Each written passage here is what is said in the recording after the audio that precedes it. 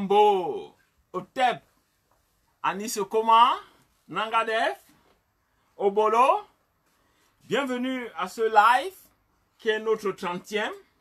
Donc, euh, depuis la fin du mois de février, nous proposons ces rencontres. Et aujourd'hui, nous n'allons pas déroger à notre rendez-vous euh, maintenant hebdomadaire qui va nous donner l'occasion de traiter de l'ouvrage The Historical Origin of Christianity de Walter Williams. En compagnie du Sèche Kovi Rek Miret, que nous saluons et dont nous remercions la présence à nos côtés, nous allons donc pouvoir, à travers la série habituelle de 10 questions, creuser ce livre et dégager son message essentiel pour la Renaissance kémite. Vous savez très bien que nos rencontres hebdomadaires, ou cette rencontre hebdomadaire du lundi 19h, 20h, suivant les cas, nous donne l'occasion de traiter des grands ouvrages classiques de la Renaissance kémite. Nous avons déjà passé en revue de nombreux, de nombreux ouvrages, dont Nation nègre et culture de Cheikh Anta Diop, l'Afrique, la, The Destruction of Black Civilization de Chancellor Williams, Reine d'Afrique de Sylvia Serban, etc., etc. Donc aujourd'hui, euh, notre 30e live nous donne donc cette occasion de continuer à vous proposer ces moments d'échange, ces moments de découverte de nos grands ouvrages qui compteront en un point douter dans le cadre des recherches, dans le cadre de la recherche des solutions pour notre renaissance. Je ne vais donc pas m'attarder sur cette partie introductive et tout de suite, je vais poser la première question au Kovi. Cette première question est celle-ci. Dans la mesure où le christianisme est de loin la religion abrahamique la mieux implantée, avec l'islam en Afrique en particulier, quels sont, selon le professeur Cheikh Anta Diop, fondateur de l'école africaine d'égyptologie, les véritables enjeux de l'intrusion et de l'expansion du christianisme en Afrique Serge Kovi. Euh, je voudrais tout d'abord remercier chaleureusement toutes les sœurs de combat et tous les frères de combat kémites qui nous ont honorés ce week-end, samedi et dimanche, de leur présence et parfois même de leur dynamisme. Je pense tout particulièrement à deux aînés, Victor Bissengue, qui est donc un panafricaniste né en Centrafrique, un essayiste, un journaliste, un anthropologue, mais également à un aîné, Etouké, le doyen Etouké, panafricaniste né au Cameroun, et pour ce qui concerne le doyen Bissengue, point n'est besoin de rappeler que c'est lui qui a organisé la première et dernière conférence publique donnée à Paris devant un public, disons, très très nombreux, au centre Georges Pompidou en 1985. Ces moments d'émotion nous trépignent et nous rappellent à chaque instant que Cheikh Anta Diop, notre maître, est vivant et que non seulement il est vivant, mais que sa pensée est immortelle. Quant au doyen Etouké, il a rencontré Cheikh Anta Diop pendant plusieurs heures, quatre heures, et il a échangé avec Cheikh Anta Diop sur tous les sujets d'actualité à l'époque, et singulièrement sur le sort des descendants de déportés africains dans l'ère Caraïbe et sur le continent qu'on a appelé à tort l'Amérique. C'est donc devant ces deux témoins de l'histoire, parce que c'est le terme consacré désormais, que nous avons été amenés à élucider samedi la question de la religion monothéiste ancestrale d'Osiris et dimanche nous avons eu à plancher sur les emprunts des trois religions abrahamiques, le judaïsme, le christianisme et l'islam, à la religion monothéiste ancestrale d'Osiris.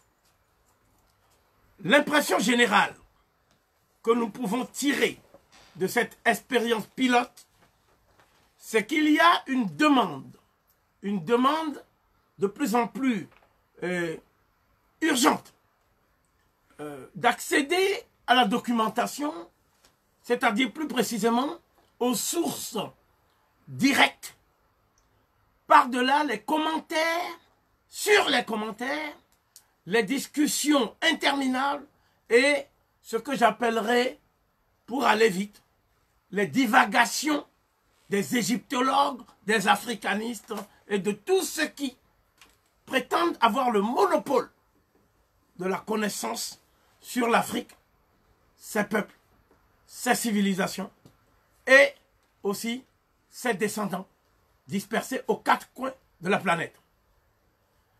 S'agissant des enjeux de l'intrusion du christianisme et de l'expansion de cette religion en Afrique, il nous a semblé opportun de commencer par une citation du professeur Cheikh.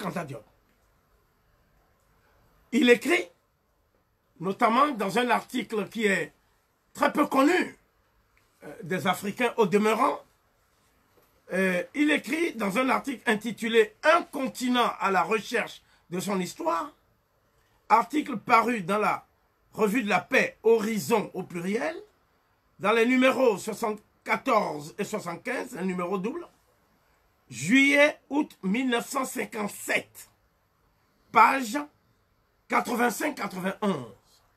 Il écrit ce qui suit. Toutes les religions mondiales sont en train de s'organiser sur des bases nouvelles pour s'adapter aux circonstances. Tant que certains problèmes métaphysiques ne seront pas tranchés, touchant à l'origine de la matière, et ce n'est pas pour demain, même des savants en grand nombre continueront à conserver une foi religieuse. Le marxiste, s'il veut être réaliste et efficace, devra longtemps encore compter avec la religion. Nous n'assistons pas à la phase de paupérisation de celle-ci. Il n'est pas étonnant de constater que toutes les forces extérieures d'origine diverses qui ont cherché jusqu'ici à digérer l'Afrique noire sur le plan temporel, c'est-à-dire politique et matériel, et qui trouvent maintenant la tentative démesurée, se retranchent sur le terrain religieux. Certains pères de l'Église pensent de bonne foi que l'Afrique noire a le droit et le devoir même d'aspirer à une indépendance nationale authentique, mais à condition de devenir chrétienne. Ils ne se rendent pas compte que c'est tenter la colonisation des âmes après avoir échoué dans la colonisation des armes. Si les tenants de chaque religion raisonnent dans leur fort intérieur de cette manière, on aboutira à une situation très peu brillante, confinant même à la guerre des religions. On saisit la gravité de la situation en méditant les quelques chiffres qui suivent. D'après les dernières communications faites à l'Académie des sciences, la majorité des Africains, 85 millions, pratiqueraient le culte ancestral. nous dirions un monothéisme à demi oublié. 28 mi- millions sont musulmans, 15 millions sont catholiques et 4 millions sont protestants. Chrétiens et musulmans ont une liturgie, sont organisés et peuvent faire de la propagande religieuse.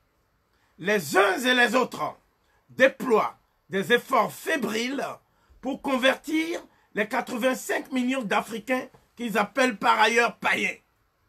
Ainsi donc, l'occidentalisation ou l'orientalisation définitive de l'Afrique est liée au succès des uns ou des autres. Il est raisonnable de penser qu'un gouvernement fédéral africain donnera des armes égales aux tenants de la religion ancestrale en provoquant un conseil œcuménique avec ses prêtres pour permettre la création d'une hiérarchie, d'une liturgie mieux adaptée, la formation et l'éducation d'une caste de prêtres à l'échelle du continent, l'approfondissement et la normalisation du dogme sur la base du monothéisme ancestral. Ce faisant, le gouvernement fédéral futur protégera le continent de toute nouvelle pénétration insidieuse de l'étranger et mettra les Africains à l'abri de toute aliénation culturelle. Donc, si nous avons bien saisi ce passage extrêmement important de Cheikh Diop, nous devons tirer trois conséquences pratiques de ce qui vient d'être euh, lu. La première, c'est que la religion n'est pas seulement une affaire de foi et de relation intime entre le croyant et Dieu. La religion est aussi une idéologie. Dans l'acception stricte euh, du terme, euh, selon Louis Althusser. Althusser, au moment où il enseignait à l'école normale supérieure, a écrit dans un ouvrage intitulé Pour Mars la phrase suivante, que je cite de mémoire, La religion est une institution politique hégémonique qui relève de la catégorie des appareils idéologiques d'État. Je, je, je pense que donc beaucoup de croyants en Afrique, lorsqu'ils vont à l'église, lorsqu'ils vont au temple protestant, s'imaginent qu'en fait, ils accomplissent un acte qui est un acte de euh, sublimation de leur relation avec Dieu. Donc c'est un acte de foi. Souvent, ils croient que cet acte relève du libre arbitre. Mais ce qu'ils ignorent, c'est que l'église dans laquelle ils vont et le temple protestant qui les accueille sont des institutions créées par l'homme. Ce n'est pas Dieu qui a créé ces églises-là. L'église de la Madeleine n'a pas été, à Paris, n'a pas été créée par Dieu. Notre-Dame n'a pas été créée par Dieu. Les temples protestants que nous connaissons ici en France n'ont pas été créés par Dieu. Ces lieux de culte ont été créés par des hommes. Souvent, les Africains pensent que ce sont des lieux où se rassemble la communauté des croyants et de ce qu'on appelle les fidèles, pour aller vite.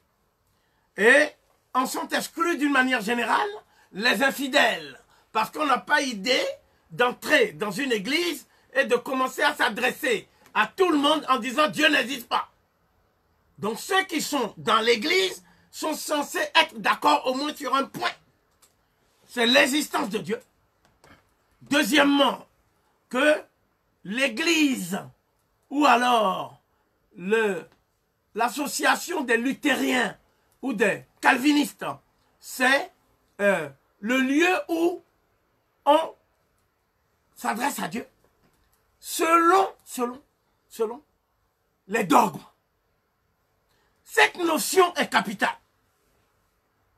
Parce que tous les peuples n'ont pas connu les dogmes. Les dogmes ne sont pas, pour ainsi dire, le mode de transmission de la foi.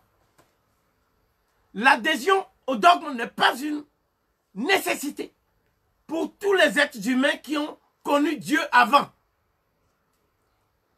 Il est impossible d'exhumer dans les textes sacrés de l'Antiquité qui ont précédé la Bible hébraïque. J'en citerai trois à titre euh, d'illustration. Le texte sacré de nos ancêtres, dont le titre est Formules efficaces pour la fusion du défunt justifié dans la lumière. Ce texte sacré, selon Cheikh Anta Diop, est attesté 2000 ans avant la Bible hébraïque. C'est un fait certain. Évidemment, quand les personnes qui lisent la Bible hébraïque ont affaire à des Africains, ou quand des Africains instruisent d'autres Africains sur le texte de la Bible hébraïque, ils disent que c'est la parole de Dieu. Ils ne disent pas que ce sont des hommes qui ont écrit ce texte. Et que ces hommes ont la prétention, et c'est la deuxième notion qu'il faut que vous reteniez, d'avoir reçu une révélation. Donc il y a les dogmes, il y a la révélation. C'est quoi la révélation? C'est ce que nous allons expliciter pour la première fois, parce que beaucoup d'Africains vont dans les églises et disent que leur religion est une religion révélée. Mais si on leur pose la question de savoir, c'est quoi la révélation? À ce moment-là, ils disent que ils ont un doute. Or, ce qui m'intéresse, moi, c'est le doute. Parce qu'à partir du moment où il y a doute, ça veut dire que cette religion ne repose pas sur une certitude, mais sur une construction de l'esprit. Cela veut dire que, à partir du moment où on parle de révélation, on parle aussi non pas de personnages désincarnés, qui seraient des esprits, mais des êtres humains. Donc, ça veut dire que Dieu lui-même, nulle part, n'est visible. Ce sont des êtres humains qui parlent de problèmes humains. Ces êtres humains disent appartenir à des peuples. Sauf que, visiblement, il y a beaucoup de peuples dans la Bible hébraïque, dans les évangiles canoniques et les épîtres pauliniens, les épîtres de Paul, et aussi dans le Coran. Beaucoup de peuples. Euh, mais, il y a deux peuples qui, apparemment, s'affrontent. L'un, parce qu'il est protégé par Dieu, qu'on ne voit pas, qui n'est pas visible. Et l'autre, parce qu'il est hanté par le diable, qui n'est pas plus visible que, Dieu lui-même. Le premier peuple, c'est le peuple élu. C'est-à-dire le peuple juif. Le deuxième peuple, mais ça, on ne le dit pas directement, mais on le laisse entendre par ricochet à travers l'épisode de la malédiction noachique de Noé. La malédiction que Noé fait peser sur Canaan et à travers Canaan sur tous les descendants de Cham et à travers les descendants de Cham sur Cham lui-même en dernier ressort.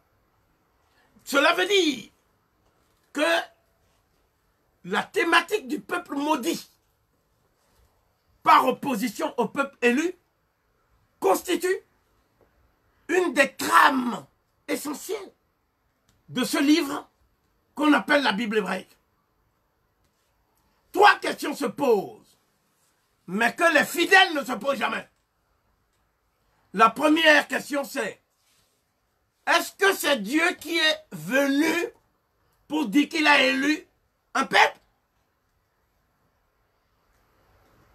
Ou qu'il a maudit un autre peuple La deuxième question c'est, lorsqu'on est le peuple élu, est-ce qu'on doit pratiquer les commandements divins? C'est-à-dire le premier de tous les commandements divins. Tu ne tueras point.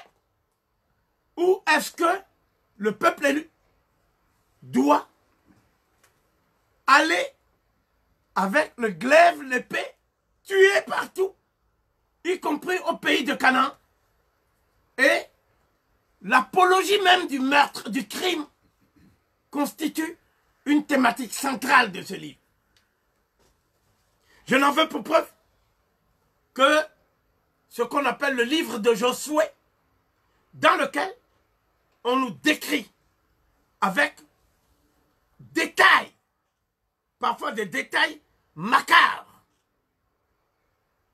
le, le- le- les tueries que les Lévites ont fait subir aux Cananéens. Ces tueries procèdent sur le plan éthique d'une affirmation elle-même discutable, à savoir que c'est Dieu lui-même auquel on donne l'épithète de éternel des armées qui a promis au peuple élu la terre de Canaan. A promis la terre de Canaan. Le mot promesse cache donc un acte qui, si on devait le qualifier en droit, signifie tout simplement le vol d'une terre qui ne vous appartient pas. Donc, non seulement Dieu ordonne la, tuerie, alors que dans son texte, il est écrit Tu ne tueras point. Mais le même Dieu ordonne le vol, alors que dans le même texte, il est dit Tu ne disposeras que de ce qui t'appartient en raison de, du travail que tu as fait à la sueur de ton front. Donc voilà deux contradictions saisissantes, inquiétantes, qui nous emmènent à introduire l'ouvrage dont aujourd'hui nous avons la responsabilité de faire la lecture méthodique. Et donc, cette interrogation est celle-ci. Se peut-il qu'un Dieu d'amour puisse, au détour de chaque chapitre du texte qui est censé être la parole de Dieu, exalter la haine, la jalousie, l'envie, le vol, le viol, et j'en passe. Est-ce que c'est possible? Je pense que tout esprit logique doit répondre à cette question non. Donc une telle réponse est d'abord en soi un aveu. Parce que ça veut dire que ce n'est pas un livre de Dieu. C'est un livre qui tout au plus peut être qualifié de manuel de guerre en vue de la conquête de terres qui n'appartiennent pas à ceux qui veulent les conquérir au prix du meurtre, du viol, de la violence et de la haine raciale. Quels est donc, pour commencer, les premiers éléments qu'il faut porter à la connaissance des internautes afin qu'ils se fassent eux-mêmes une opinion consistante sur ce que j'appelle tout simplement la contrefaçon abrahamique.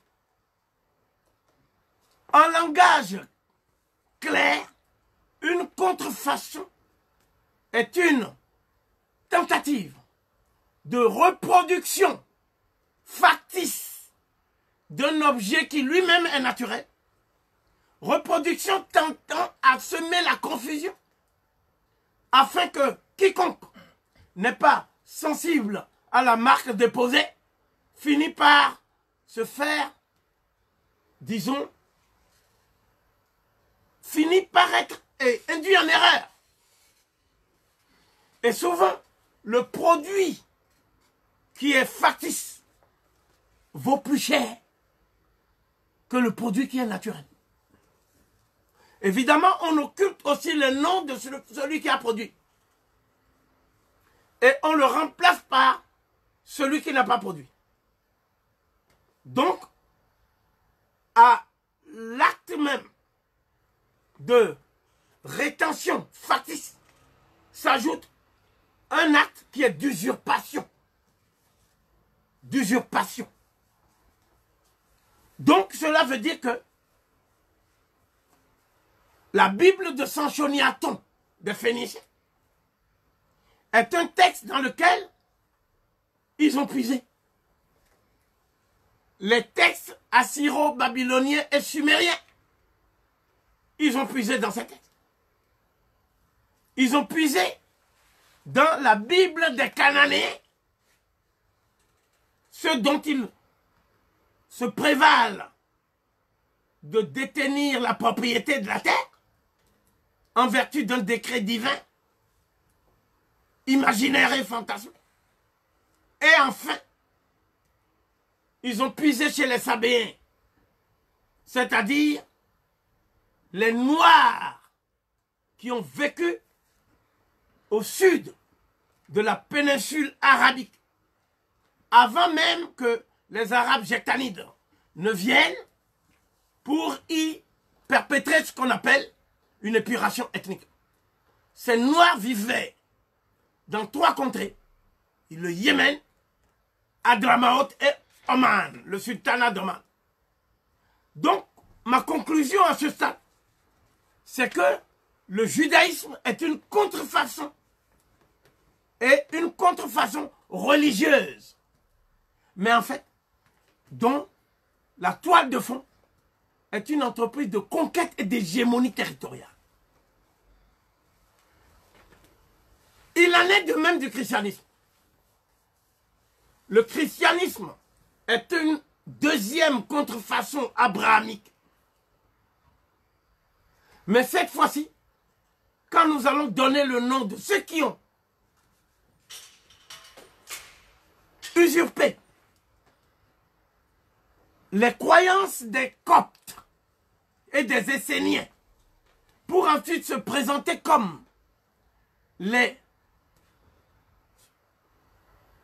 disciples du Messie juif tant attendu et descendant direct de David, à savoir Jésus de Nazareth, le juif de Galilée.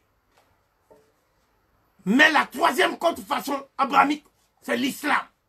Dans la mesure où les Sabéens couchites avaient une religion qu'on appelait le sabéisme. Et tous les éléments qu'on trouve dans l'islam sont tout simplement des copies, tout au plus dénaturées, dévoyées, des croyances des Sabéens. On a donc pu dire que l'islam est une épuration du sabéisme par un certain nombre de personnes qui ensuite se sont réclamées de l'enseignement de Muhammad. Nabi, le Nabi. Cela veut dire que Nabi, ça vient du mot africain Naba, qu'on retrouve chez le Moro Naba, ça vient du mot égyptien Neb, qui veut dire maître, seigneur. Donc, Nabi n'est pas un terme sémitique ou arabe, c'est un emprunt. Donc, quand il y a une contrefaçon, la surabondance des emprunts est telle que cela fournit un indice sur la provenance même du produit. Parce que on peut faire des emprunts à la liturgie. Cela a déjà existé dans l'histoire. On peut faire des emprunts même à la limite au culte, c'est-à-dire euh, euh, l'office cultuel. On peut faire des emprunts au niveau des louanges, euh, c'est-à-dire ce qu'eux ils appellent des prières. Mais ce qu'on ne peut pas faire, c'est prendre carrément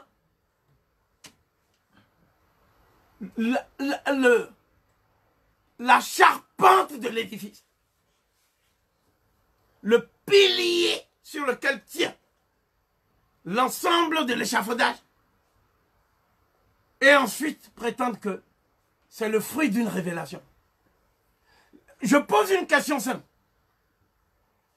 Comment peut-on recevoir par révélation ce qui existait déjà 2000 ans avant vous-même, avant votre naissance? Dans ce cas, on ne peut plus parler de révélation. Il en est de même dans le domaine scientifique de ce qu'ils appellent les découvertes. Les découvertes de Thalès, les découvertes de Pythagore, les découvertes de Solon. En réalité, ce sont des gens qui appellent découvertes des redécouvertes de choses qui existaient déjà 2000 ans avant leur naissance. Donc, il est important dans la séquence live vidéo d'aujourd'hui d'établir trois faits. Le premier, c'est-à-dire de re- faire reposer notre argument, notre problématique sur trois arguments. Le premier, c'est l'argument chronologique. Parce que tout ce qui parle résonne en dehors de la chronologie. Comme si on était dans une logique intemporelle ou atemporelle. Donc nous devons rétablir la chronologie. Deuxièmement, nous devons rétablir la nomenclature des sources. C'est-à-dire, comme ils sont toujours dans des histoires surnaturelles, avec un Yahvé qui intervient tout le temps, on ne sait pas d'où il vient. Alors, il faut établir les sources historiques. Parce qu'en réalité, tout ce qui se passe, quand les Lévites attaquent les Cananéens, c'est sur terre. C'est pas là-haut que ça se passe. Donc, il y a des sources, des traces historiques, des artefacts. Il faut les établir. C'est ce que nous appelons la nomenclature des sources. Et troisièmement, il faut faire des interprétations correctes des faits. C'est-à-dire, il ne faut pas biaiser, ruser avec la vérité pour substituer à la vérité historique ce que j'appelle des fantasmagories. Donc, le problème qui est posé ici, c'est le christianisme est né où? Deux, le christianisme est apparu quand? Trois, qui sont les inventeurs du christianisme Qu'on ne me dise pas que Jésus, non, parce que Jésus, c'est un prétexte. Ce qui m'intéresse, moi, c'est pas seulement le prétexte, c'est le contexte et le texte. Et l'instance du texte est incontournable. C'est-à-dire, il faut revenir au texte. Cela va permettre de savoir qui a écrit ce texte. Dans quelle langue Hein? Il faut être très clair. Parce qu'on nous a dit Jésus est un hébreu. Après, on a dit que Jésus est araméen. Après, on a dit que bientôt, on va dire que Jésus parle espéranto. Donc, il faut arrêter cette divagation. Donc nous allons dire à qui a fait ça? Qui a inventé le christianisme? Quatrièmement, pourquoi ont-ils inventé le christianisme? Quelle est la cause de cette invention? Enfin, nous allons poser la question de toutes les questions. Le christianisme, c'est un isme formé à partir du mot Christ. Quel est le rapport entre Christ et Jésus? Que veut dire Jésus? Le mot, c'est étymologie, c'est quoi? Deux. Que veut dire Christ? Son étymologie, c'est quoi? Quand est-ce que pour la première fois on a parlé de Jésus-Christ en mettant un tiret entre les deux? Enfin, l'enseignement qu'on prête au Christ, je dis bien qu'on prête à Jésus-Christ, l'enseignement qu'on lui prête, c'est dans quel document? Moi, je connais l'évangile selon Luc, l'évangile selon Marc, selon Matthieu, etc. Mais l'évangile selon Jésus-Christ, personne ne connaît ça. Je vais même plus loin. Ça n'existe pas. Donc, ça veut dire qu'en toute déontologie, il n'est pas normal de prêter à quelqu'un des bribes d'opinion des gens dont certains n'ont même pas vécu les faits. Et de dire après que c'est l'enseignement que les nègres doivent suivre. Parce que la question que je posais est très claire. Peut-il y avoir un enseignement sans enseignant? Inversement, un enseignant peut-il mériter un tel titre s'il n'a pas d'enseignement? La réponse à cette question permettra de voir qu'en fait, le christianisme, c'est une idéologie. Ce n'est pas un enseignement divin. C'est une idéologie. Et c'est le mérite de Walter Williamson d'avoir compris qu'il y a ce qu'on appelle l'origine légendaire et mythique du christianisme. Mais il faut faire l'origine historique. Ce n'est pas pareil. Une légende, ce n'est pas un fait d'histoire. Donc lui se propose de faire l'origine historique du christianisme. The historical origin of Christianity. Mais, il a fait la même chose pour l'islam. The historical origin of Islam. Donc, qui dit origine historique dit qu'on doit trouver des traces et des documents historiques sur lesquels on va s'appuyer pour reconstituer les faits historiques. Je pose trois questions. Un, la résurrection est-elle un fait historique? Deux, l'ascension du Christ pour aller s'asseoir à la droite du Père, dont personne n'a vu le visage. Cette ascension est-elle un fait historique? Trois, le fait que le Christ soit revenu sans que personne ne l'ait vu. Même pas les évangélistes, même pas les apôtres, pour sauver l'humanité.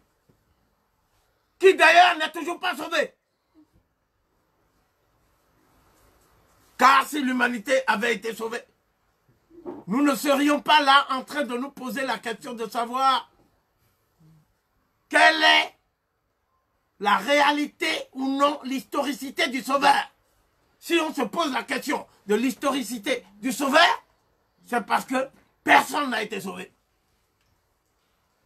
Surtout pas Rek. Je crois, euh, non plus n'a pas été sauvé. Voilà la raison pour laquelle nous voulons demander au Sauveur Sauveur, où es-tu? Où te caches-tu? Ne trouves-tu pas que le génocide des Amérindiens, le génocide des nègres d'Afrique, le génocide des Tasmaniens, le génocide des Juifs, des Arméniens, ne trouve pas que ça fait beaucoup trop de génocide. Où es-tu? Pourquoi n'interviens-tu pas Toi le sauveur? Qui sauves-tu dans ta cachette? Donc, nous allons aujourd'hui poser la question sous la forme d'une enquête.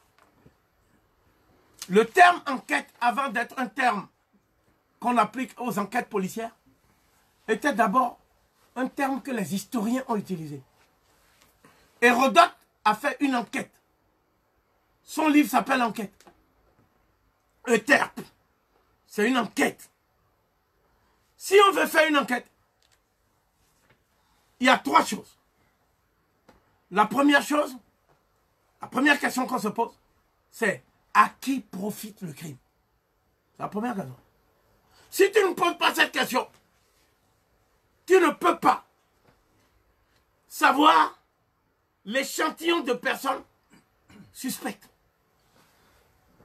Soit d'avoir été commanditaire, soit d'avoir été complice, soit d'avoir été bénéficiaire. Tu ne peux pas savoir. La question que je pose là, c'est à qui profite le christianisme? La deuxième question, c'est quel est le mobile? Le mobile c'est-à-dire la raison d'être de ce qui est. La troisième question, qui sont les protagonistes du crime? Quand il y a un crime, on ne met pas tout le monde sur le même plan. Il y a ce qu'on appelle la causalité historique. Les premiers responsables, même s'ils n'ont pas tué eux-mêmes, même s'ils n'ont pas appuyé la gâchette, ce sont les commanditaires, les penseurs, ceux qui ont pensé le crime. Qui a pensé le crime de la tête négrière? C'est un chrétien qui a dit les Amérindiens ne sont pas suffisamment résistants. Ils ont été tués à la tâche. Il faut aller en Afrique pour aller chercher des nègres qui végètent dans l'idolâtrie, dans le vice et dans le fétichisme. Il s'appelle Bartholomé de las Casas. C'est lui qui est donc la tête pensante du crime. Qui a justifié le crime? C'est le pape. C'est le pape Nicolas V et les autres papes dont nous allons parler tout à l'heure. Il a justifié. C'est-à-dire, il a dit que le crime est la volonté de Dieu c'est la conséquence d'une volonté divine. Et donc lui, comme il se prétend être le représentant de Dieu, il signe des documents qu'on appelle des bulles papales pour dire que moi, le représentant de Dieu sur terre, le souverain pontife, je dis que c'est normal qu'on ait fait le génocide des Amérindiens. C'est normal qu'on ait fait le génocide des Africains. Troisièmement, qui a donné la logistique, c'est-à-dire les financements pour faire ce crime? Eh bien, ce sont des banquiers qui travaillaient avec les souverains d'Espagne, qui vivaient en Hollande et en Italie, à Gênes.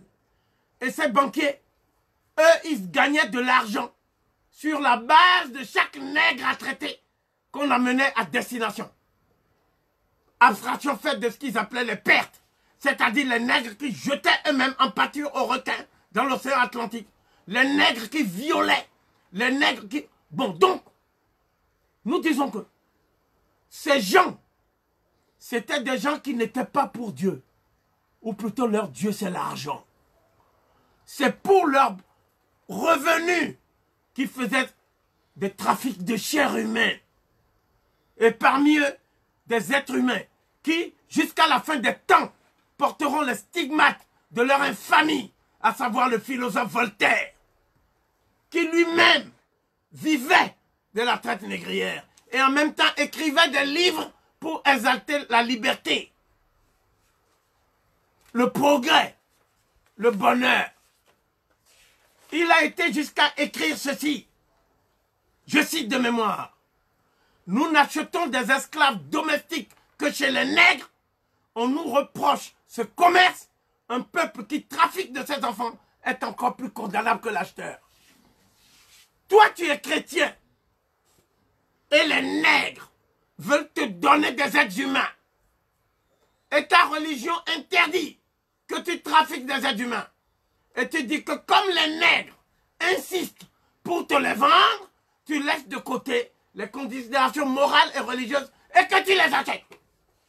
Et que tu ajoutes que cet achat démontre ta supériorité. Eh bien, moi, j'appelle quelqu'un comme ça un être vipérien. C'est une vipère. C'est Voltaire dont je parle. Donc, ça veut dire quoi? Tous les Africains qui créent au Bénin ou ailleurs des clubs Voltaire, où ils vont essayer de faire ce qu'on appelle hein, des spéculations philosophiques dans la langue de Voltaire. Tous ces Africains sont doublement maudits. D'une part, parce que c'est celui qui vendait leurs parents. Deuxième, ils anoblissent celui qui achète leurs parents et torture leurs parents. Et deuxièmement, deuxièmement, ils justifient l'acte barbare qui consiste à déporter des êtres humains, les torturer, les violer et les faire travailler pendant cinq siècles. Ils justifient ça, eux-mêmes les victimes. Donc la question que nous disons, c'est que ce malentendu, doublement entendu, où la victime elle-même se fait complice du bourreau, c'est à partir de là que les Blancs disent qu'il n'y a pas eu crime. Parce que il n'y a pas de différence entre la victime et son bourreau. Puisque la victime elle-même, par un acte de masochisme, assume le statut de bourreau. Et que le bourreau se dédouane de ses crimes en faisant une philosophie qui est une philosophie des ténèbres et non pas une philosophie des lumières. C'est le cas de Voltaire. Donc, ce que je veux dire ici, c'est que cet ouvrage pose les vrais problèmes, les vraies questions. Et ce sont ces questions que nous allons maintenant essayer d'examiner avec la rigueur de celui qui est là pour que la manifestation de la vérité et la vérité elle-même servent de fondation pour la réconciliation de l'humanité avec elle-même. Merci Kovi, Serge Kovi pour cette euh, introduction qui pose bien les enjeux. La deuxième question est celle-ci. Qui est en réalité Walter Williams? Quelle formation intellectuelle a-t-il? Et surtout, qu'est-ce qui a motivé la conception et la rédaction de ces deux ouvrages consacrés respectivement à l'origine historique du christianisme et de l'islam? Walter Edward Williams est né le 31 mars 1936. Il est né dans une famille d'Africains déportés depuis le Mali. C'est un Bambara dans son ascendance. Et nous savons que le Mali a été le théâtre d'un des plus grands empires que l'univers ait connu. Et je pèse mes mots. Ce n'est pas moi qui dis ça, mais c'est Rabelais, dans son ouvrage intitulé Pantagruel, où il dit que le roi du Mali est assurément un des rois les plus puissants qui ait exercé sur le royaume le plus puissant de l'univers. Donc ça veut dire que lui, Pantagruel, il avait des raisons de dire ça. Parce que s'il avait un royaume puissant chez lui, il ne pouvait pas dire ça. Il allait dire, c'est chez moi qu'il y a un royaume gaulois puissant. Et ce royaume gaulois a réalisé tel ou tel acte inédit dans l'histoire. L'empire du Mali l'empire qui, en dehors du royaume du Congo, est le plus étendu en superficie de la terre. Deuxièmement, le roi qu'on appelle Mansa du Mali, c'est celui qui, quand il voyage, il voyage avec des tonnes d'or. Et quand il arrive quelque part, le cours de l'or chute. Et il y a donc une pénurie due au fait que l'or que lui il amène est tel que ce que les autres ont comme étalon pour échange est déprécié, n'a aucune valeur. Mais s'il arrivait seulement avec des tonnes d'or, il était habillé en or. C'est-à-dire de son couvre-chef jusqu'à sa sandale, c'est de l'or. Si je devais utiliser une expression métaphorique, je dirais que c'est un roi cousu d'or. C'était ça le nègre. Pour nous, l'or ne justifiait pas qu'on tue quelqu'un. Parce qu'il y en avait tellement qu'on peut faire l'économie de la vie humaine. Ce sont ceux qui n'ont pas d'or qui imaginent un certain nombre de scénarios pour venir massacrer des gens afin, de prendre l'or. Ce fut le cas des Sémites, ce fut le cas des Locodères, etc. Voilà pourquoi des gens voulaient attaquer la caravane de Kankamoussa dans le désert, alors qu'il allait en Égypte. Donc, je dis que c'était l'homme le plus riche du monde. je pouvais même ajouter sur un continent pauvre. Si je voulais faire de l'esprit. Donc, ce fait uniquement. Je ne parle pas de l'or que drainait la santé René, c'est-à-dire le roi des Ashantis, de la Confédération Ashanti. Là, c'est encore plus grave. C'est ça qui a fait que les Anglais ont vu rouge. Ils ont dit non, non, non. Il faut tuer même ce gars-là pour prendre tout l'or. Mais que dire de l'épouse de la reine-mère? Le, le nègre était cousu d'or de la tête aux pieds. Ça ne s'est jamais vu sur la terre. Voilà pourquoi on a appelé le Ghana Gold Coast, la côte de l'or. Donc les Arabes, ils appelaient le Soudan le pays de l'or. Les égyptologues ont dit Nouba, les Nouba. Nouba, ça veut dire quoi? Ça vient du mot égyptien qui veut dire l'or. Les Nubiens, c'est de là que vient Nubien. La Nubie, c'est la terre de l'or. Quand tu veux désigner un enfant en disant qu'il a un cœur en or, eh bien, on l'appelle hein, Ibou Nebou. Ibou, c'est le cœur. Nebou, c'est l'or. Le rituel que faisait Isis s'appelle Aïssatou Nebet Nouba. C'est-à-dire Isis, maîtresse de l'or. Elle chevauchait l'or. Donc ça veut dire que pour nous, l'or, c'est une banalité. L'or, c'est une euh, prosaïté. Donc ça veut dire que nous n'avons jamais voulu baser les richesses de nos pays sur des réserves en or. Si on l'avait fait, eh bien, aucun pays ne pouvait se classer avec nous pour ce qui est de la richesse. Donc le Mali, les Achantis, la Confédération Achanti, fondée par Osei Tutu, ce n'étaient pas des pays pauvres. C'était des pays riches dont les populations ont été appauvries.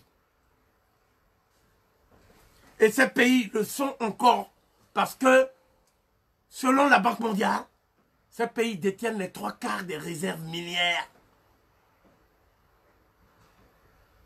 et énergétiques de la planète. Là, vous avez une des raisons pour lesquelles on fait la guerre à l'Afrique. Parce que ceux qui font la guerre à l'Afrique sont ceux qui n'en ont pas. Ce pas des guerres intestines, en tribus, puisque nous les avons. Donc toutes les tribus qui se battent en non. Pourquoi elles se battraient? Puisque des ordres. On a même dit, c'est Ibn Battuta qui l'a dit, qu'il voyageait au Soudan. Son livre, c'est Voyage au Soudan. Et qu'il arrive quelque part et il voit qu'il y a de l'or par terre. Et il demande aux gens, est-ce que c'est normal qu'il y ait de l'or par terre? Les gens ont dit, mais c'est le métal de Dieu. Donc Dieu nous envoie même des pétales. Dieu nous envoie des briques en or. Dieu nous envoie, Dieu nous inonde d'or. Bah, tout a dit, ces gens-là, c'est terrible. Parce que ce sont des gens, ils ont leurs maisons qui sont ouvertes. Personne ne vole. Et bah, tout a dit, chez moi, si l'or traîne là, si quelqu'un ouvre sa, sa tente, il est mort. Donc, ce que je veux dire, les mœurs, les us et coutumes dépendent de votre état ou non de prospérité. Nous, on était prospères. Pourquoi on viendrait voyager pour venir en Europe? Puisqu'on avait tout. Ce sont ceux qui voyagent chez nous qui sont les véritables immigrés. Les premiers immigrés, c'est ceux qui ont voyagé chez nous. Clinton est un descendant d'immigrés. Trump est un descendant d'Allemands, nazis, immigrés. Donc ça veut dire quoi? Quand ils s'étonnent d'avoir des immigrés ici en Europe, d'en avoir de plus en plus, d'en avoir trop, il y a un mot d'ordre qu'il faut dire tout simplement que le président du Ghana, Nana Ado, a dit au président Macron, qui sème la colonisation récolte l'immigration. Qui sème la colonisation récolte l'immigration. Donc ça veut dire que les immigrés étaient en fait des riches qu'on a spoliés, qu'on a dépouillés. Et aujourd'hui, on fait quoi? On crée des ONG pour aller aider les pauvres. Ça dit les mêmes gens que vous avez dépouillés. C'est du cynisme et c'est de l'hypocrisie. Et c'est le christianisme qui est au cœur de ça. Le christianisme est au cœur de ça. Donc, la famille de Walter Edward Williams est une famille d'ascendance malienne qui se retrouve au milieu d'une société ségrégationniste qui est une prison des peuples. Les États-Unis sont une prison des peuples. Une prison qui a pour gardien des criminels et des délinquants? Tout ce qu'on appelle les pionniers du rêve américain étaient en fait les pionniers du cauchemar africain. Car c'était des reprises de justice.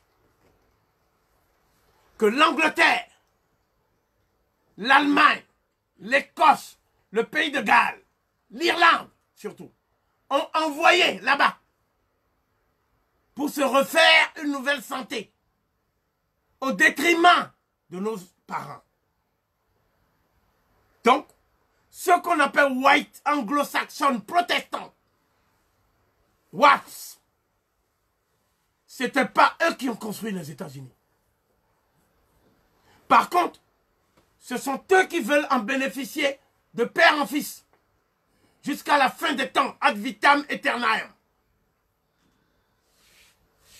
Donc, le socle de la société américaine est basé sur la ségrégation contre les gens qui viennent construire ce pays. Et qui vont construire ce pays au prix de cinq siècles de privation de liberté. Et une fois construit, ce pays leur demande d'être les derniers servis et de rester au seuil de la porte et de ne pas entrer pour se mettre à l'abri. C'est cela qu'on appelle American Way of Life. Ce qu'on appelle American Dream. Et que Martin Luther King exalte en disant I have a dream. Eh bien, c'était le cauchemar pour le peuple noir. Et celui qui l'a dit le plus, c'est Chrysops Attox. Chrysops Attox a dit Nous vivons le cauchemar depuis que les bateaux ont arraisonné nos parents au XVIIIe siècle à Jamestown, en Virginie. Mais ce cauchemar que nous vivons, nous avons l'obligation, si nous ne voulons pas nous suicider, si nous ne voulons pas être sujets d'un suicide collectif, d'en faire un enfer vivable. C'est ainsi que s'élevaient des camps de concentration et de la mort, qu'on appelle les plantations, où nos parents travaillaient. Des champs qui étaient des champs africains, qui exaltaient le mal-être, le désespoir d'être. Et c'est ça qu'on appelait le blues. C'est ainsi que s'élevaient des chants qui étaient des plaintes lugubres. Et ces chants, c'est ça qu'on appelle le gospel. C'est ainsi que les instruments hurlaient, parce que les instruments, notamment le saxophone de Armstrong, le saxophone de, euh, euh, des plus grands jazzmen. Je crois que je n'ai même pas besoin de parler ici parce que Lasconi, il connaît le jazz. Son fils fait même le jazz. Le cauchemar, c'est le jazz. Parce que le jazz reproduit les cris saccadés de douleur que le saxophone va ensuite expulser sous la forme de vibrations d'air acoustique. Qui est-ce qui joue mieux que Miles Davis? Miles Davis. Il y avait aussi le free jazz. Le free jazz. C'est-à-dire le jazz qui rompt avec les codes de la servitude pour aspirer à la liberté. The free jazz. Il y avait la simulation de l'acte de révolte. C'est-à-dire la maîtrise de la violence qu'on a en soi et qu'on a ruminé pendant cinq siècles. C'est ça qui a donné le rock and roll. Donc, le nègre s'est servi de la musique comme moyen de faire de l'enfer un enfer vivable. Et au bout de cet enfer, il a entrevu un paradis. Et ce paradis, c'est le Congo, les rives du Congo. Comment accéder aux rives du Congo?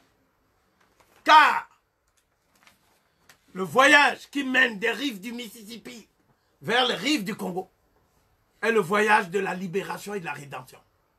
Or, on a dit que l'Afrique, c'est la terre de la servitude. D'où vient les Noirs américains considèrent l'accès aux rives du Congo et l'abandon des rives du Mississippi comme l'accès au paradis. Ceux qui ont conçu cela, c'étaient les grands poètes de la Renaissance de Harlem, les Langston Hughes, les Claude McKay, et tous ceux-là qui ont exalté ce qu'on appelle les vibrations du Congo. Congo Vibration.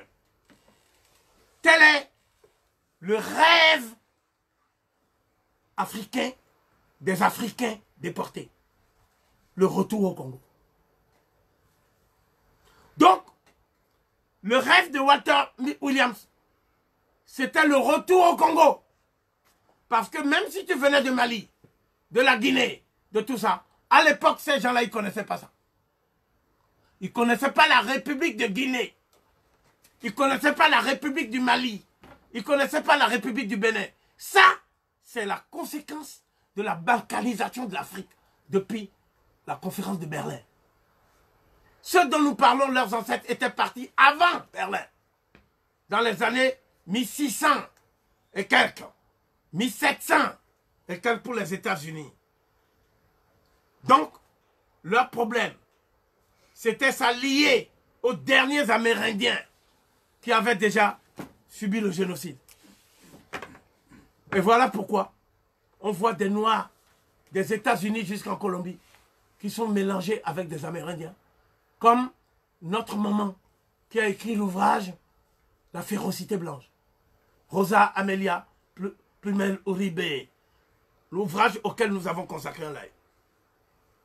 Donc la conclusion c'est que c'est quelqu'un qui a toujours aimé l'Afrique. La nostalgie du Congo et du Mali. C'était ça que portait dans cette trip Walter Williams. Ses parents, à la fin de la ségrégation, vont se battre pour qu'ils puissent accéder aux plus hautes études. Mais ils se sont rendus compte que tous les Noirs veulent être théologiens. Tous les Noirs veulent être bishops. Mais Dieu que tout le monde attend, Jésus de Nazareth, il est aux abonnés absents. Je lui ai demandé tout à l'heure, tu es où? Sauve-nous. Est-ce qu'il a répondu? Non Il ne peut pas répondre. Parce que ceux qui croient qu'il répond sont ceux qui sont impuissants. Un impuissant, il n'a plus de choix. Donc si on lui dit que Dieu, c'est la caméra là, il va dire oui, c'est vrai. Il est devenu incrédule. Incrédule dans incrédule, il y a credo, credo. Il est devenu incrédule, incapable d'accéder au credo. Voilà pourquoi Tertullien a dit dans une phrase qui défie toute raison. Credo quia absurdum est. Je crois parce que c'est absurde. Donc, nous suivons ce qui est absurde. Nous suivons ce qui est déraisonnable. Nous suivons ce qui est illusoire. Parce que si Jésus-Christ sauvait réellement, eh bien les blancs qui sont esclavagistes seraient punis. Ce sont les blancs qui jouissent des fruits et des usufruits du travail de nos ancêtres pendant cinq siècles.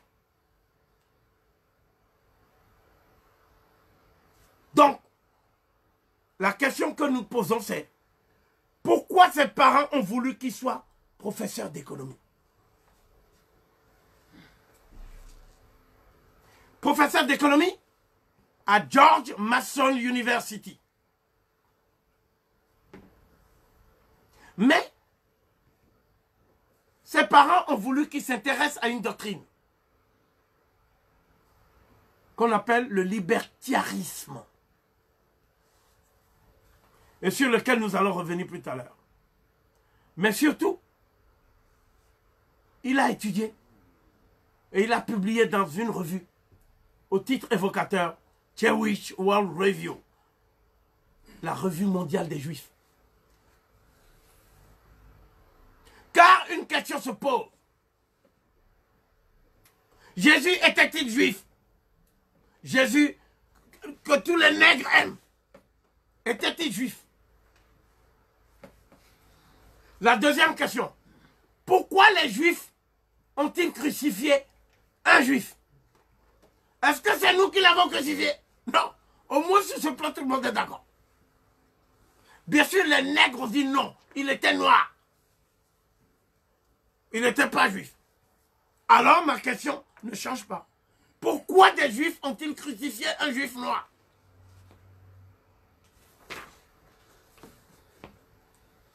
La troisième question, c'est celle-ci. A-t-on besoin de crucifier quelqu'un pour l'envoyer en enfer? Si on sait déjà que l'enfer c'est sur terre. Parce que le noir vit l'enfer. Seulement il veut faire en sorte que l'enfer soit vivable. Tu es déjà en enfer. Ce qui paraît logique c'est de faire en sorte que ton Congo, dont tu as la nostalgie, devienne un paradis sur terre. Mais qu'est-ce que tu fais? Tu acceptes l'enfer sur terre pour pouvoir ressusciter dans des nuages et des nuées. Voilà ma position. Donc, cette question-là pose le problème de l'éducation religieuse que le christianisme a donnée aux nègres. Nous y reviendrons. Parce qu'il y a un livre qui a été consacré à ça. Tant nous ferons le live. La personne qui a le plus poussé Walter Edward Williams, c'est sa mère, qu'il vénérait, comme le prouve la dédicace de son livre. Parce qu'il commence par saluer tout le monde. Il commence par dire I dedicate this book to my great mother, sa grand-mère. Bella, elle s'appelait. My, my grandfather, Thomas. And my mother, Louise. Vous voyez Il y a beaucoup plus de femmes que d'hommes. Parce que ce sont les femmes qui ont façonné son destin. Lorsque vous avez une mère, une grand-mère, ça veut dire que vous avez à la fois l'affection et vous avez en même temps le gîte et le couvert. Cela se passait en Philadelphie, à Philadelphie. La famille a vécu à l'ouest de Philadelphie et s'est déplacée vers le nord de Philadelphie. Et ce qui est important, c'est que les études vont se faire d'abord à Benjamin Franklin High School. Benjamin Franklin était un personnage très important sur lequel on reviendra ensuite. Il va poursuivre à Los Angeles City College. Et puis, il a toujours été premier. Mais les Blancs l'ont toujours déclassé. En disant tu es troisième. Il faut deux Blancs d'abord. On appelle ça la préséance blanche. Mais les Blancs eux-mêmes disent oui, mais il est plus fort que nous. On dit de vous, c'est faux. Mais c'est auprès de lui qu'on fait les devoirs. Vous allez taire Est-ce qu'un blanc peut faire des devoirs avec un nègre Depuis quand vous reconnaissez La préséance d'un nègre sur vous. Vous êtes des blancs dégénérés. Vous méritez même de subir la revanche des nègres.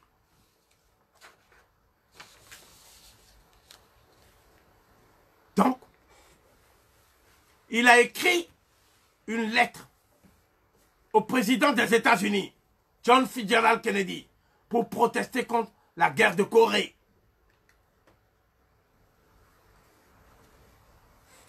Il a passé toute sa vie à se demander pourquoi les États-Unis n'interviennent pas alors qu'il y a la statue de la liberté pour aider les Africains alors que ce sont des Blancs qui les colonisent. Pourquoi les États-Unis n'interviennent pas lorsque l'Angleterre tue les Mao Mao au Kenya. Lorsque les Allemands tuent le peuple Herero en Namibie Pourquoi les États-Unis n'interviennent pas? Leur conception de la liberté serait-elle sélective à ce point? Au moment où il effectue ce service militaire, il se rend compte que c'est dans l'armée qu'il y a le plus de discrimination. Aux États-Unis. Mais les discriminations culminent dans l'Église. Au point que les Blancs ont dit à chacun son Église. Alors il a posé la question de savoir, est-ce qu'il y aura deux paradis?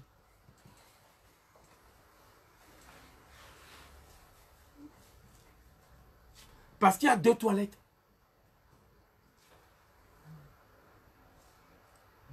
Même quand on urine. Ton urine est discriminée. C'est ça que l'Afrique du Sud a utilisé. Il y a des toilettes qu'on appelle white only. Quand on rentre dedans, c'est parfumé, tout est nettoyé, tout ça. Et les toilettes black only. Il n'y a même pas de trou. Il y a des herbes qui poussent et qui souffrent beaucoup à force de recevoir des urines. Et si j'étais à la place de ces herbes, ne souffrirais-je pas? Donc, la question qui est posée est la suivante. Pourquoi il y aurait des discriminations dans les toilettes? Des discriminations dans l'armée? Des discriminations à l'église? Mais pas au paradis En d'autres termes, est-ce que l'esclavagisme va aller au paradis aussi? Mais bien sûr, parce que le paradis est ouvert pour le blanc, même s'il est le pire des êtres humains. Par contre, le nègre, il faut qu'il soit très bon, très généreux avec son maître blanc pour mériter le purgatoire. Il faut qu'il soit un oncle Tom, un quel Tom. Il faut qu'il soit un nègre de maison. House Negro. Pour mériter le purgatoire. Car les portes du paradis lui sont hermétiquement fermées. D'où le nègre qui dit ceci. Le paradis du blanc, c'est l'enfer du nègre. Et l'enfer du nègre, c'est le paradis du blanc. Les États-Unis sont donc l'enfer du nègre. Mais c'est le paradis des blancs. Et ils disent qu'ils sont les Américains. Et ils font un slogan. L'Amérique aux Américains. Négro dehors. Et ils, sont, ils vont dehors. Pour aller où? Ils n'ont qu'à être jetés à la mer. Et au bout de cinq siècles, quand ils ont construit le pays, maintenant vous voulez les jeter. À la mer. Et il y a des nègres qui ont dit, s'il vous plaît, jetez-nous. On veut aller en, en Afrique. Donc le problème de fond, il est là. Le christianisme est une idéologie religieuse qui fait que le noir doit supporter l'enfer sur terre. Voilà la vérité. Supporter. Et pas seulement supporter, mais imaginer que l'enfer peut se transformer en paradis, mais dans le ciel. Jamais sur terre.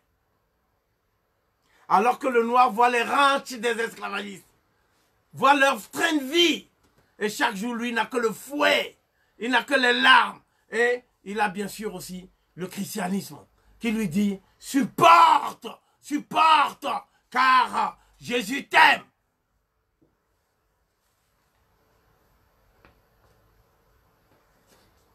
Norbert, tu, Troisième tu es en train de voir Jésus là. Oui, non. Bah, non, attends, je n'ai Troisième- pas fini. Ah, d'accord, ok. Je pensais Donc- qu'il fallait continuer. Non, non, non. Donc, le problème de fond, c'est qu'il va se prononcer sur le conflit entre Malcolm X et Martin Luther King. En fait, ce n'était pas un conflit. C'était une affaire médiatique. Les médias des Blancs ont dit que il y a un noir qui, lui, a fait ce que Jésus voulait. C'est Martin Luther King. Il a fait un rêve qu'un jour, les enfants des esclavagistes et les enfants des esclaves se donneront la main pour faire le tour du Mississippi. Mais il n'a pas fait le rêve sur comment on va rendre justice aux enfants des, esclaves? Quant à Martin Luther King, il a dit que Jésus-Christ n'est pas en cause dans l'esclavage. Les esclavagistes ont mal compris Jésus-Christ. Et ils ont fait le contraire de ce que Jésus a dit. Et c'est lui qui va enseigner ça aux Noirs. La tolérance. L'amour de ton ennemi. C'est la chose la plus difficile à faire. Mais ce n'est pas difficile pour un nègre. Et Martin Luther, euh, euh, Malcolm X a dit, le blanc ne connaît pas l'amour. Il connaît la force. Donc, si vous n'êtes pas capable d'exercer l'autodéfense, pas la violence, la violence, c'est l'acte par lequel vous agressez gratuitement quelqu'un qui ne vous a rien fait. L'autodéfense, c'est le fait de vous défendre quand on attaque vos biens, vos familles, quand on vous attaque. Et il y a quelque chose qui existe, c'est une loi non écrite, mais d'application générale, qu'on appelle la loi de la légitime défense. L'autodéfense est donc l'exercice par le noir de la légitime défense. Quel Dieu va aimer une créature à laquelle il a donné le bien le plus précieux, la grâce qu'est la vie, et quelqu'un va ôter la vie, et la créature ne se défend pas. Cette créature n'est pas digne de Dieu. Donc, je te renvoie à tes chères études théologiques. Martin Luther King. Mais ce qu'on oublie, Martin Luther King n'était pas un nègre de maison. Martin Luther King, il a tout fait pour aider le Ghana pour son indépendance.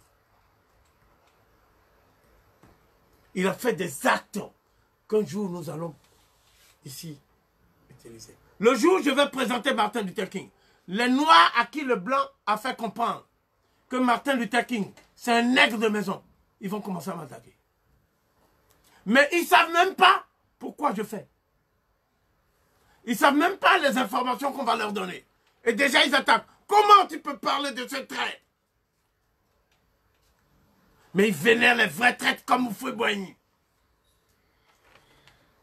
Donc, le problème qui est posé ici, c'est pourquoi cet homme qui a en 1965 obtenu ce qu'on appelle Bachelor Degree en économie, California State College et à Los Angeles, et qui a eu son PhD, doctorat, en 1972, après avoir obtenu son master degree en 1967.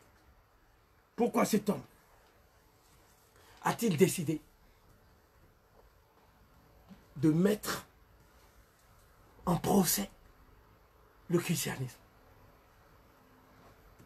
Parce que beaucoup de gens disent, mais c'est grâce au christianisme qu'il a fait des études. Ce qui est faux, c'est grâce au travail de ses parents. Grâce au travail des parents de ses parents. Pendant cinq siècles, gratuitement. Donc, il savait parfaitement qu'en faisant ce genre d'études, il n'aura pas la place qu'il mérite. Mais ce genre d'études était une manière de comprendre comment fonctionne le système. Il ne faut pas faire seulement des études pour avoir une villa. Un jet privé. Une Rolls-Royce. Il faut faire des études parce que les études permettent de mieux connaître le système qui a opprimé vos parents, qui vous opprime, et de pouvoir le changer. Car le christianisme dit, il ne sert à rien de changer l'ordre des choses. C'est Dieu qui a voulu. Si Dieu a mis des maîtres, c'est parce que Dieu savait qu'il fallait des esclaves. Au contraire, l'esclave le plus intelligent est celui qui aime son maître. Donc, ça veut dire qu'il y a la haine dans la réalité. Mais on fait la haine au nom de l'amour. Donc le maître nous fouette par amour. Le maître nous viole par amour. Le maître nous injurie par amour. Il nous torture aussi par amour. Voilà ce que les nomades de l'Ocoderme ont inventé, c'est-à-dire la torture par amour. Car le christianisme a été la justification permanente de la torture par amour. Mais ce qui intéressait le plus, c'est comment le christianisme est également l'entreprise la, plus lucrative pour enrichir les esclavagistes encore. Car c'est en stockant des fonds aux plus pauvres de la société américaine, c'est-à-dire les Noirs, qu'on parvient à enrichir les plus riches. Je répète ce que je dis. C'est en estorquant, en raquettant les plus pauvres de la société américaine qu'on parvient à enrichir davantage les plus riches. C'est-à-dire les descendants d'esclavagistes qui continuent l'esclavage sous une autre forme qu'on appelle le salariat. Misérable salariat pour nègres. Je réitère ce que j'ai dit. Jésus, où es-tu quand tout ça se passe? Où tu es?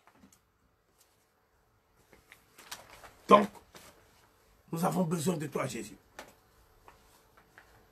Williams va faire des recherches sur ce qu'on appelle Davis-Bacon Act. C'est une ruse du système pour pouvoir légaliser ce qui est illégal, c'est-à-dire la ségrégation contre les Noirs. Légaliser ce qui est illégal. Donc, on dit que l'esclavage est fini. Mais on continue à faire travailler les Noirs pour enrichir les plus riches qui sont toujours les Blancs. Même les métis, on n'en veut pas. Parce qu'aux États-Unis, ce qui marche, c'est la color line. Si tu es même un peu, un peu seulement, négroïde, mais tu es tout blanc, on dit, va chez les nègres. Voilà pourquoi la plupart des nègres cherchent à faire le métissage pour éclaircir la race. Donc ils cherchent à avoir des femmes blanches de basse condition, poor white, pour pouvoir éclaircir leur race, avec l'espoir qu'à un moment donné, toutes les traces négroïdes vont disparaître et que l'enfant sera tout blanc. Voilà ce qu'on appelle l'éclaircissement de la race. C'est de ça que parle Booker T. Washington. Donc, la question aujourd'hui, c'est comment le christianisme est apparu? Comment? C'est à cette question que nous allons essayer de nous atteler dans toute la mesure du possible. Merci, Kobe. Troisième question. Quelle est la thèse centrale défendue par Walter Williams dans son ouvrage intitulé The Historical Origin of Christianity Walter Williams écrit à la page,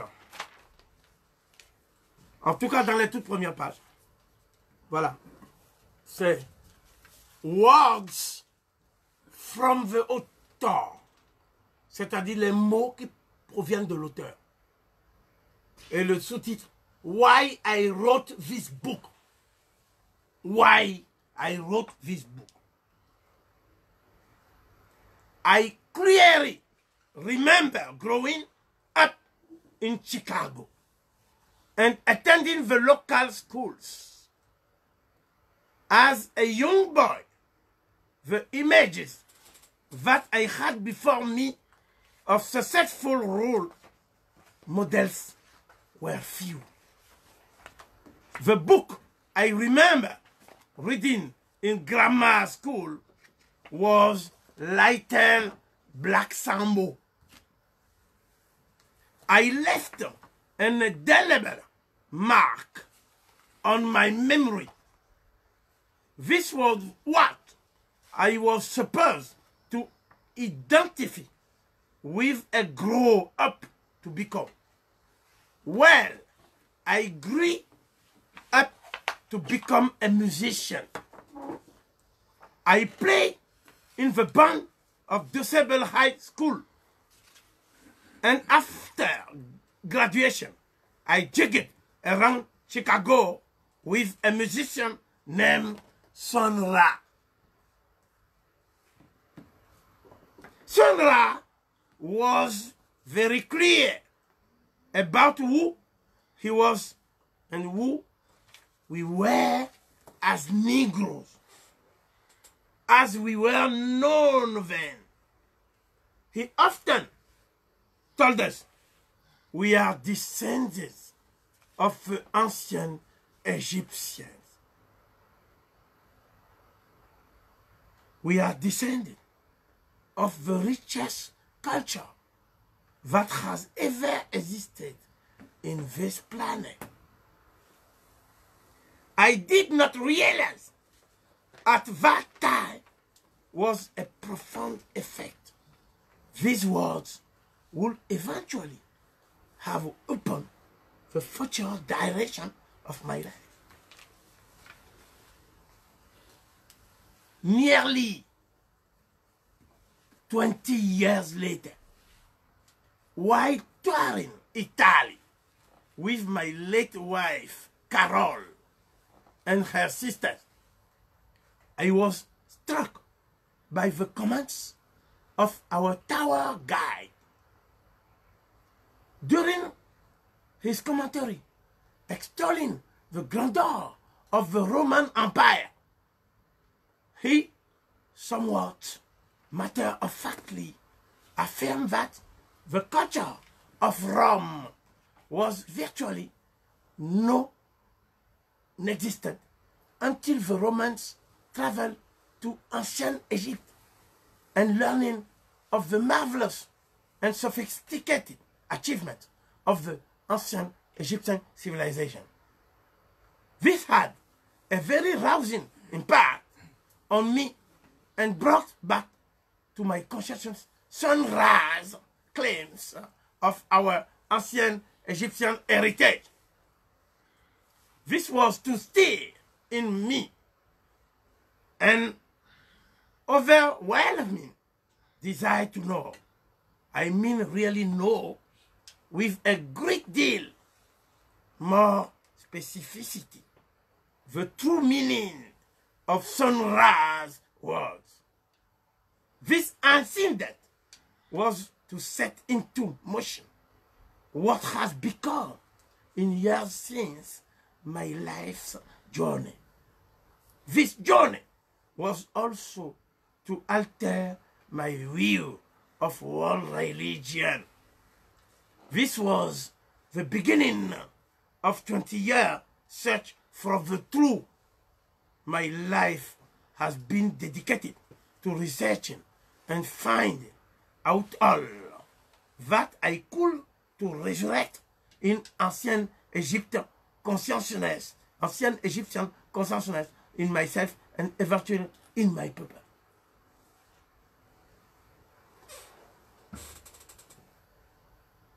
Ra, ça veut dire le soleil. C'est le nom du plus prodigieux musicien noir.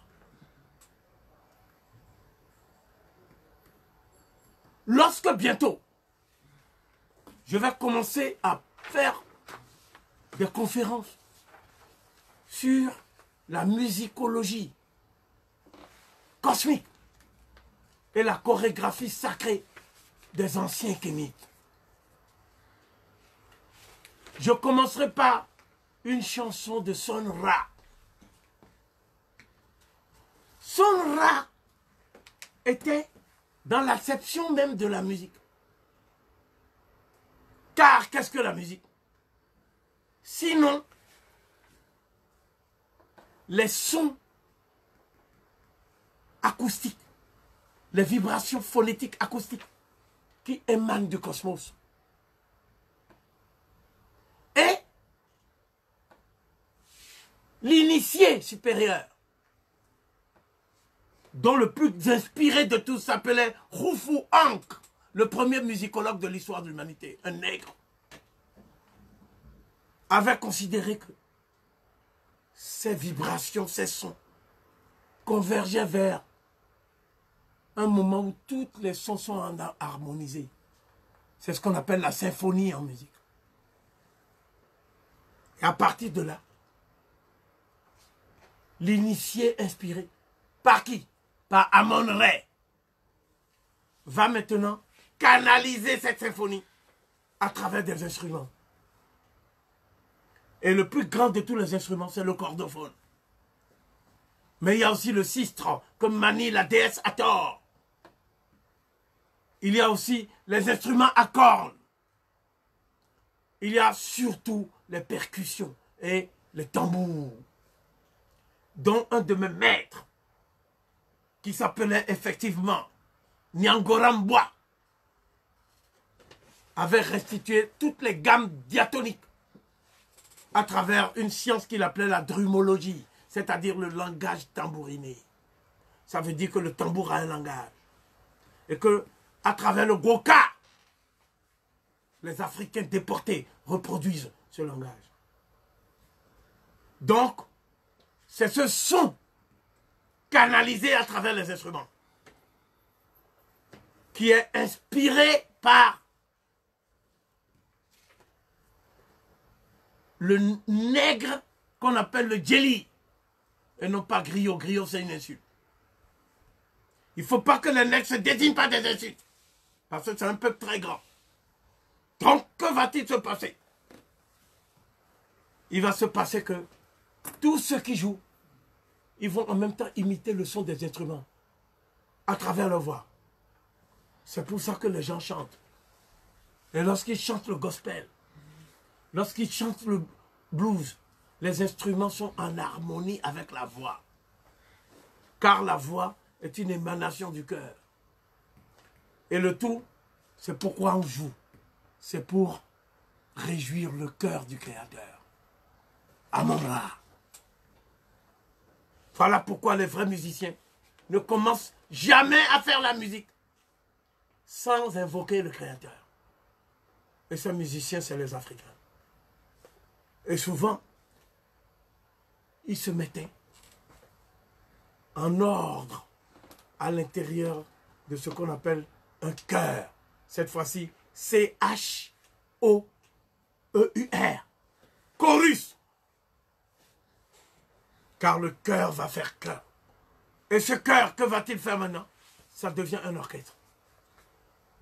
Voilà pourquoi le but de l'orchestre, c'est lorsqu'il est guidé par le chef d'orchestre, d'arriver à obtenir le maximum d'harmonie entre les voix, les vibrations acoustiques des instruments.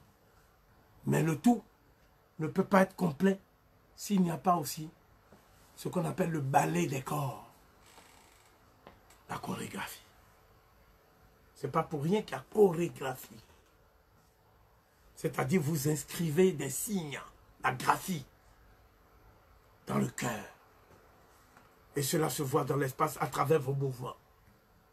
Et les meilleurs d'entre les chorégraphes, c'était les pygmées, qu'on appelait le danseur du Dieu. Les pygmées Bayaka, les pygmées Aka. Donc, ce que nous voulons dire, c'est que le rêve, le rêve de l'auteur, c'était de devenir musicien. En ayant comme modèle Sunra.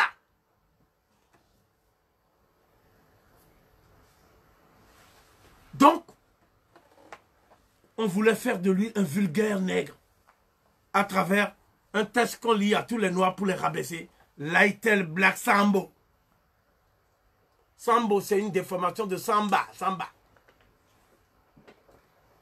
Mais en Afrique, euh, chez nous, on ne dit pas Sambo ni Samba. On dit Mamadou et Bineta.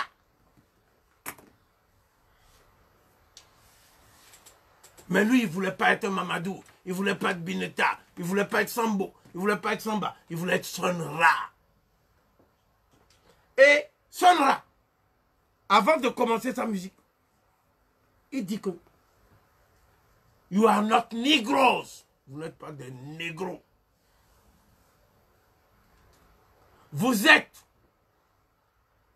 des divinités incarnées du Dieu Ra. Voilà pourquoi moi-même, je suis l'incarnation du Dieu Soleil Ra, Sun Ra. Donc, la phrase clé est la suivante. C'est marqué He often told us. C'est-à-dire, il nous disait souvent, on parle de Sun-Ra, we are descendants of the ancient Egyptians. Nous sommes descendants des anciens Égyptiens. We are descendants of the richest culture that has ever existed on this planet. Nous sommes descendants, mais j'ai presque envie de dire héritiers de la plus riche culture qui ait jamais existé sur la planète. Sur cette planète, on this planet. Donc, le problème de Sonra, c'est comment faire pour comprendre pourquoi on nous a caché cette identité? Pourquoi on nous a dit vous êtes des descendants d'esclaves? Alors que nous sommes des descendants de Dieu et de déesses incarnées. Donc, on veut nous ôter l'amour de nous-mêmes. On veut nous ôter l'estime de soi. Parce que quand on voit comment l'esclave était traité dans l'enfer, dès qu'on descend de lui, c'est comme si tu dis tu es condamné à être esclave. Tes enfants esclaves. Les enfants de tes enfants esclaves. Or, il lui fallait devenir quelqu'un, lui. Et ce quelqu'un a connu son modèle, son rat. Attention, à quel âge? 20 ans. L'âge où commence à éclore ce qu'on appelle la maturation de la maturité. Donc, dans ses recherches, in all my research, dans toutes mes recherches, dans toute ma recherche, I have kept coming back to the same thing.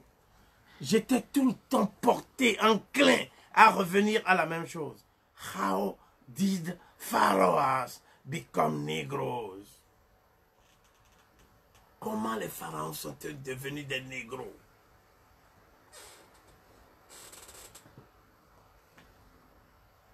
What was the psychological pattern? That was pushing and what happening to a people? Who had control a perfect government during, ça pendant neuf millénaires, that they became slaves of Europeans.